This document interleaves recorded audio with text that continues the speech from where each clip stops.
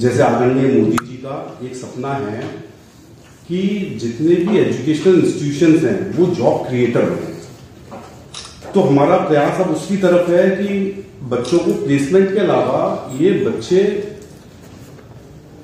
Job creator बने। उसी की तरफ़ ये हमारा प्रयास है, निधि प्रयास, जिसमें गवर्नमेंट टोटल निधि प्रयास के अंदर हिंदुस्तान में सिर्फ़ फोर्टीन इंस्टीट्यूट है जिसमें ये ग्रांट मिली है, जिसमें एक जेल मिला चुकी है।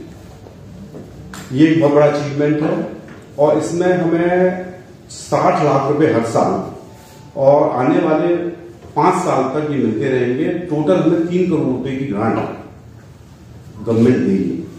तो ये एक बहुत बड़ा अचीवमेंट है और उत्तर प्रदेश में ऐसे खाली दो इंस्टीट्यूट हैं, एक जीएल बजाज है और एक जीएसएस है और पूरे हिंदुस्तान में ऐसे खाली चौदह इंस्टीट्यूट और मेरे को बड़ा फख्र महसूस हो रहा है कि ग्रेटर नोएडा का ये खाली एक इकलौता इंस्टीट्यूट है, जिसमें गवर्नमेंट ने हमें चुना इसके लिए।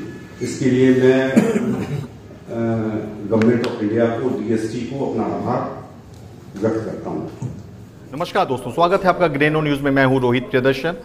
तो अभी हम हैं जीएल बजाज इंस्टीट्यूट में और यहाँ पे भारत सरकार के विज्ञान एवं प्रौद्योगिकी विभाग, जिसे डीएसटी भी कहा जाता है, उसने GL Bajaj centre for research and incubation DST प्रयास केंद्र बनाया है।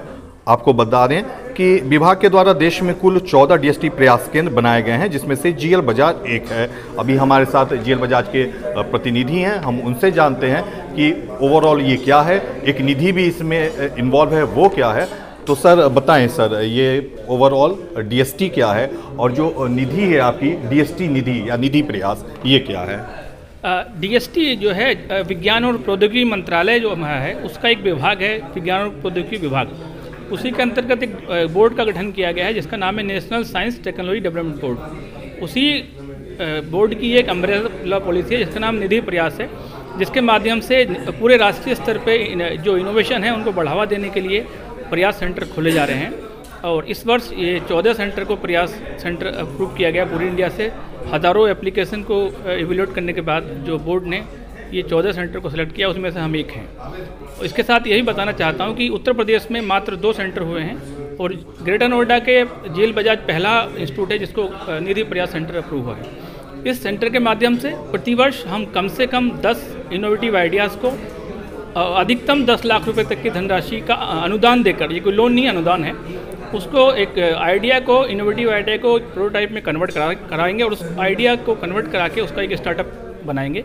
वो स्टार्टअप भारत सरकार की जो महत्वाकांक्षी परियोजना है मोदी जी की स्वावलंबी भारत आत्मनिर्भर भारत या जो क्रिएटर बनाने वाली उसमें यह अपना महत्वपूर्ण योगदान देने वाला है। सर सिलसिले से मैं समझना चाहूँगा किसी के पास इनोवेटिव आइडिया है तो क्या इसका दायरा उत्तर प्रदेश तक है या पूरा देश भर है? पहली बात। दूसरा बात कि इसमें क्या क्राइटेरिया क्या है? क्या वो स्टूडेंट होना ज़रूरी है या कोई वर्किंग भी हो सकता है? क्या कोई एज बार भी इसमें है?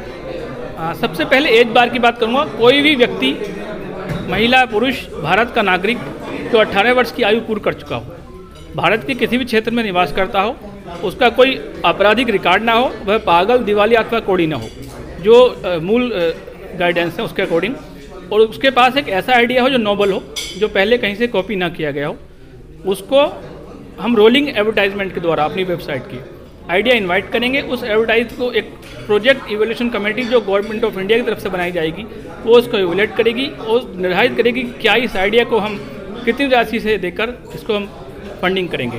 क्या इसमें साक्षात्कार आप लेते हैं इंटरव्यू लेते हैं कुछ रिटर्न टेस्ट भी होता है क्या होता है इसमें तीन राउंड का होगा सर। इसमें हम इसका पहले फ़र्स्ट राउंड एक कमेटी होगी फिर सेकंड राउंड कमेटी होगी थर्ड राउंड साक्षात्कार भी होंगे और हम उसका प्रैक्टिकल डेमो भी कराएँगे। और उसके फाइनेंशियल एस्पेक्ट को भी देखेंगे कि वास्तव में ये जो आइडिया है क्या ये आइडिया स्टार्टअप बन सकता है कि नहीं बन सकता? क्योंकि ये गवर्नमेंट ऑफ़ इंडिया की स्कीम है और इसमें जो हमारे टैक्स पेयर हैं पूरे भारतवर्ष के, उनका बहुत हार्ड एंड मनी लगा है। तो हम प्रत्येक आइडिया को थ्री लेयर्स एवोल्यूशन से गुजारेंगे। जो एप्लीकेशन है क्या ये एक पूरे ईयर में शेड्यूल है कि इस वक्त वो आता है या कभी भी ये एप्लीकेशन आप मंगा लेते हैं साल भर में? इसमें हम रोलिंग एडवर्टाइजमेंट चलाते हैं। आइडिया हमारे पास आते रहते हैं। जैसे हमारे पास आइडिया आते हैं उसके हम इवोल्यूशन कमेटी करते हैं। जैसे अप्रैल का महीना हो या दिसंबर का महीना हो कुछ ऐसा शेड्यूल है या कभी भी आपका एडवर्टीजमेंट आ जाता अभी कोई ऐसा फिक्स नहीं है। जैसा हमें भारत सरकार आदेश करती है वैसा हम करते हैं। अच्छा तो ये माध्यम जो है आप अलर्ट रहें आपकी साइट को विज़िट करते रहें तो ये जो है आपको उसमें पता चल जाएगा कब हमें अप्लाई करना है उसमें पूरा प्रोसीजर रहेगा। हमारे साथ मानस जी भी हैं जो निदेशक हैं जीएल बजाज के और जीएल बजाज को जैसा कि ग्रांट भी मिलने वाला है। सर ये कितने का ग्रांट मिलने वाला है और इसको आप किस तरह से एलोकेट कर रहे हैं? आ, ये ग्रांट हमें साठ लाख का सर, साठ टोटल कितना ग्रांट मिला है? क्या प्रोसेस तीन करोड़ का ग्रांट है पाँच साल के मध्य में मिलेगा अलग अलग हर साल। और हर साल हम कोशिश करेंगे कि, और मैं इनवाइट कर रहा हूँ आपके यू नो चैनल के माध्यम से, सारे भारतवर्ष से, और पर्टिकुलरली यूपी से, क्योंकि यूपी से दो ही ऐसे संस्थान को आइडेंटिफाई किया है तो मैं सारे यूपी वासियों से ये अनुरोध करूँगा कि अगर उनके पास कोई ऐसा आइडिया है जिस, जो लोकल प्रॉब्लम को या ग्लोबल प्रॉब्लम को सॉल्व कर रहा हो, और वो उनमें उनको पैसे की ज़रूरत हो जिसको प्रोटोटाइप बनाने के लिए उस आइडिया को तो हम उनसे आवेदन रिक्वेस्ट करते हैं और प्रॉपर जैसे सर ने बताया प्रॉपर स्क्रूटनी के बाद हम उनको सपोर्ट भी करेंगे। जी आप बधाई के पात्र भी हैं, आपको सेंटर चुना गया है, निश्चित रूप से आप अच्छा काम कर रहे हैं। तो किस तरह से मैं जानना चाहूँगा, किस तरह से आप सपोर्ट करते हैं जो भी स्टार्टअप्स हैं, उनको किस तरह से प्रमोट करते हैं फाइनेंशियली भी, और उनको और भी फाइनेंशियली सपोर्ट की ज़रूरत नहीं होती है टेक्निकली सपोर्ट भी ज़रूरत होती है तो उसमें आपका क्या रोल रहता है? अभी तक हम लोगों ने मतलब निधि प्रयास के अलावा जो हम लोगों ने जी एल के थ्रू किया है, हम लोग स्टार्ट इन यूपी के मेंबर हैं, हम लोग एम एस एम ई के इंक्यूबेटर हैं स्टार्ट इन यूपी के अंदर भी हमारे करीब पैंतीस छत्तीस स्टार्टअप्स एनरोल्ड हैं और 10 स्टार्टअप को ग्रांट भी मिला है। एम एस एम ई के थ्रू भी हमें ग्रांट मिला है। तो हमारे पास जो भी बच्चा या कोई भी बाहर का आदमी भी आते हैं टीम जो इंक्यूबेशन का आइडिया लेके आते हैं हम उनको पहले इनिशियल स्क्रीनिंग करते हैं। ये देखना ज़रूरी होता है आइडिया में जी, जी। कि ये आगे जाके मार्केट में मार्केटेबिलिटी है इसमें या नहीं है।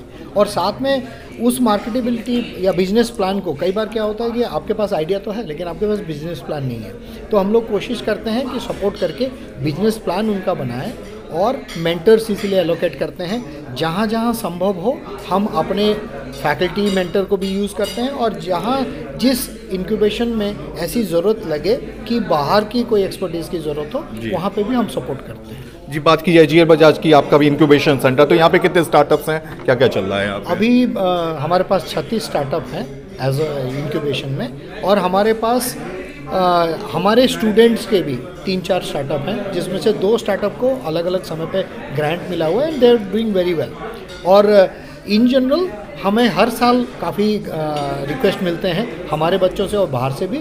लेकिन किसी कारणवश वो स्टार्टअप उतने यू नो एक्सप्लोर नहीं कर पा रहे हैं अपने आप को कि वो प्रोटोटाइप लेवल पे जाएँ। निधि प्रयास के थ्रू क्या होगा कि हम लोग और भी थोड़ा सा एक प्लेटफॉर्म दे पाएँगे, जिसके थ्रू ज़्यादा रिक्वेस्ट आएँगे और ज़्यादा हम लोग ग्रांट भी दे पाएँगे। धन्यवाद। तो निश्चित रूप से ये निधि प्रयास जो है गवर्नमेंट का, बहुत ही अच्छा स्कीम है जो जेल बजाज के थ्रू वो इसे जो है शुरुआत उसने कर दी है।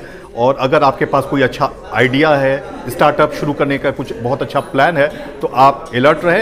इस डिस्क्रिप्शन बॉक्स पे आपको फ़ोन नंबर और साथ ही साथ वेबसाइट का जो यूआरएल होता है वो भी आपको मिल जाएगा। और उसके थ्रू आप हने- अ, कुछ कुछ दिन पे जाके चेक कर सकते हैं और जैसे ही कुछ एडवर्टाइजमेंट इस तरह का आएगा तो आप तुरंत अप्लाई करें और निधि प्रयास का लाभ उठाएँ। फ़िलहाल इस खबर में इतना ही। महत्वपूर्ण खबरों से जुड़े रहने के लिए हमारे यूट्यूब चैनल गिरेनो न्यूज़ को सब्सक्राइब करें। नमस्कार।